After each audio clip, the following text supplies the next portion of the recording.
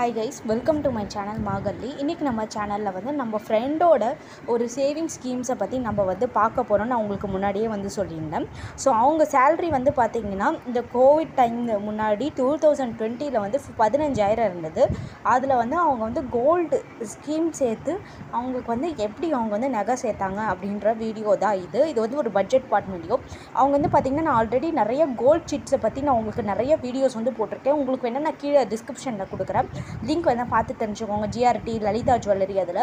இவங்க வந்து பார்த்திங்கன்னா ஃபஸ்ட்டு வந்து பத்தாயிரரூபா சீட்டு போட்டாங்க. ஃபைவ் தௌசண்ட் வந்து அவங்களுக்கு வந்து ஒர்க் ஃப்ரம் ஹோம்னால வீட்டிலேருந்து சாப்பாடு எல்லாம் அவங்களுக்கு வந்து நெட் எக்ஸ்பென்ஸ் மட்டும்தான் இருந்தது. அதனால் அவங்க வந்து இந்த அளவுக்கு சேவ் பண்ண முடிஞ்சுது. இதுவே வந்து அவங்க ஒர்க் ஃப்ரம் ஹோம் இல்லைன்னா இவ்வளோ சேவ் பண்ணியிருக்க முடியாது. அவங்க பத்தாயிரம் ரூபாய்க்கு ஒரு கோ நகை சீட்டு வந்து போட்டாங்க. அந்த நகை சீட்டில் வந்து பார்த்திங்கன்னா அவங்க இருபத்தி நாலு கிராம்ஸ் எடுத்து மூணு பவுன் வந்து சேர்த்தாங்க.